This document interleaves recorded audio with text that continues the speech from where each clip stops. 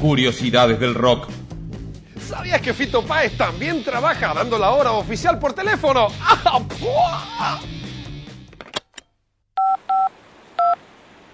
La señal indicará las 23 y 4 y 20 segundos.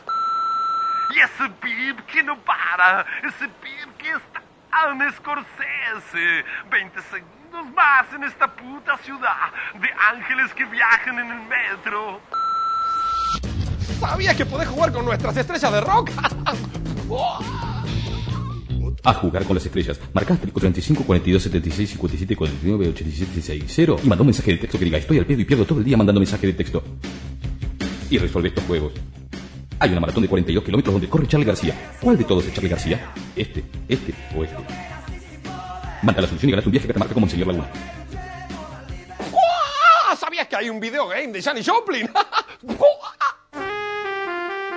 El cazanfetaminas de Janis Joplin. Este jueguito que hizo furor en Sacoa y que lo tuvo en Mar del Plata Nito Artaza jugando ocho horas seguidas, consiste en mover a Janis para agarrar y tomarse la mayor cantidad de anfetas posible.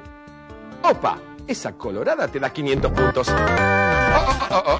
Ahí ya le pegó mal.